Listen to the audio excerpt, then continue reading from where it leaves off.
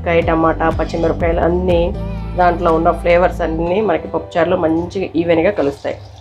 ఇట్లాగా పోసేసుకో